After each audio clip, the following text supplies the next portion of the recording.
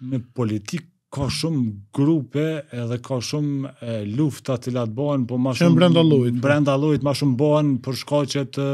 xhelozisë së suksesit, e pastaj ata ta ngjesin një etiketim çfarë ata mendojnë që munden me të dëmtu. Çfarë do qoftë ai, edhe kështu ka pas, po unë s'e kisha veçu për çështje fetare, po ka qenë më shumë për shkaqe të dëshirës së tyne për me avancu më shumë se unë apo çka do qoftë, që në politikë ekzistojnë në secilin subjekt politik, edhe brenda llojit, edhe ka ndodhur në të gjitha partitë dhe ka me ndodh prap, për shkak që është e, proces e, normal i, i luftave të brendshme të cilat ndodhin. Kështu që nuk nuk e kisha e,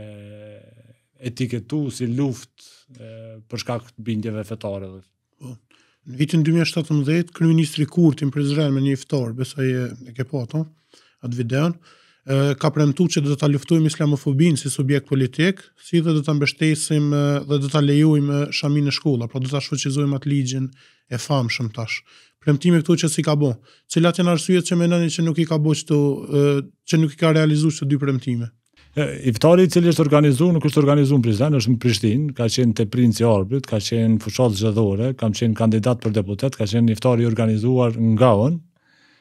ku kryeministri deklaron që në Kosovë ka islamofobi dhe ajo do të luftohet me ardhjen në qeverisje të Lëvizjes Vetëvendosje, po ashtu edhe rreth vijueshmërisë së vajzave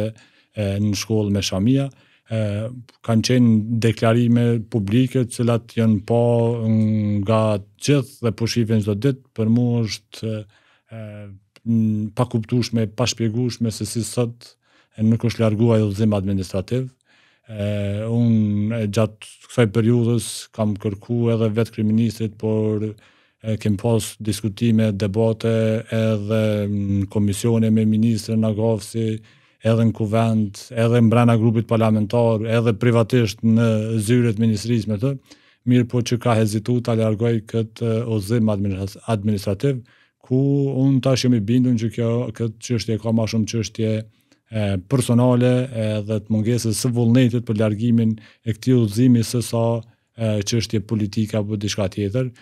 nuk ka asnjë lloj pengese, madje si udhëzim administrativ, zyra ligjore e kryeministrisë ka jap interpretim që është i jashtëligjshëm. Kështu që asnjë arsye, as kryeministri Kurti, as Arbërie Nagavci, e asnjë person tjetër për mbajtjen e këtij udhëzimi nuk mund ta ketë, e fatkeqësisht po ndodh secilin vit vajzat sidomos në fillim vit me me u largu prej shkollave për shkak të këtij udhëzimit administrativ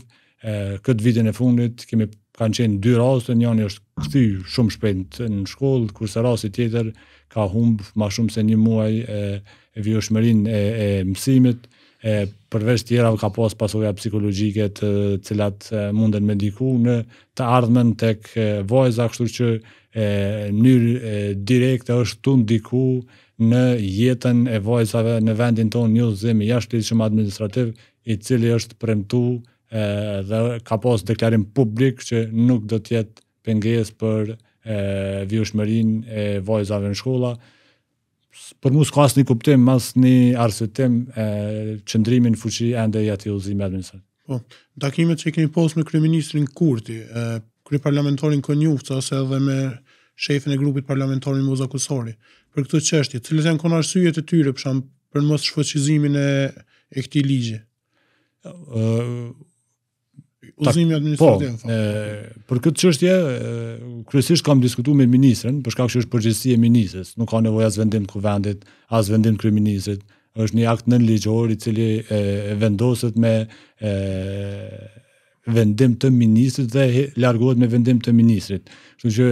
kjo është çështje shumë e thjeshtë procedurale, largimi, largimi i sajna dhe kryesisht komunikimi ka qenë me të. Mirëpo kam njoftuar edhe kryeministrin për moslargimin e sajna edhe që më ka kërku për me ja ridërgu prap udhëzimin për me pa me vlerësu edhe që s'ka pas përgjigje tjetër, kurse sa i përket kryetarit parlamentit, shefes grupës parlamentare, nuk është që kam diskutu rreth përmbajtjes apo për këtë çështje, mirëpo ka rreth dy vite që shefen e grupit parlamentar e kemi informu që nuk do të votojmë asnjë ligj që vjen nga kjo ministre derisa të largohet ky udhëzim administrativ edhe s'ka pas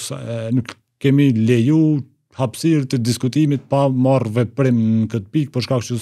s'ka pas çka me u diskutu edhe me, me, me u negociu.